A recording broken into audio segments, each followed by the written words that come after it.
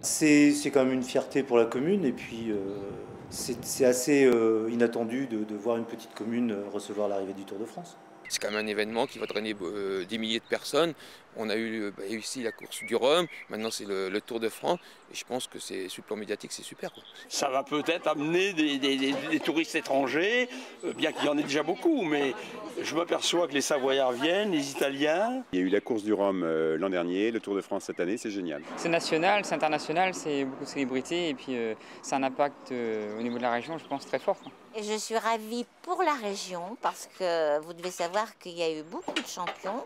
Et ici, il y a des courses de vélo euh, pratiquement toute l'année et des enfants qui commencent le vélo très jeunes.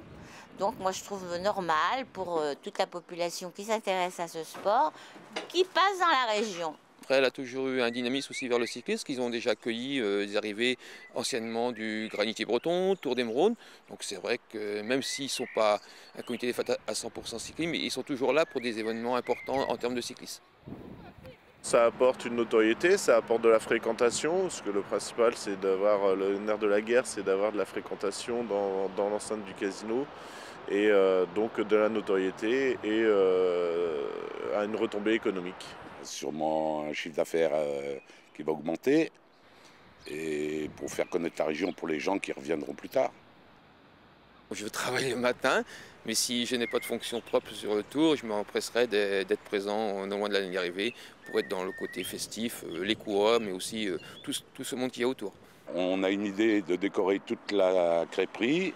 Le personnel sera tout habillé en maillot jaune.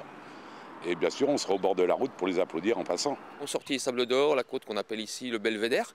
C'est vrai que là, ça, mérite d'être. Euh, c'est là il faudra être aussi, ou sinon dans la dernière, dernière côte avant l'arrivée, avant la chapelle du Vieux-Bourg. Bon, c'est vrai qu'il n'y a pas des reliefs à 10-15%, certes on n'est pas en montagne, mais c'est accidenté, il y a des changements directionnels. certains disent que tout va arriver au sprint parce que l'étape est courte. Mais je, pense qu'on peut avoir des surprises aussi, étant donné que c'est accidenté et usant. Bon, euh, c'est le Tour de France et les champions. C'est vrai qu'on peut avoir une arrivée groupée à Fréal.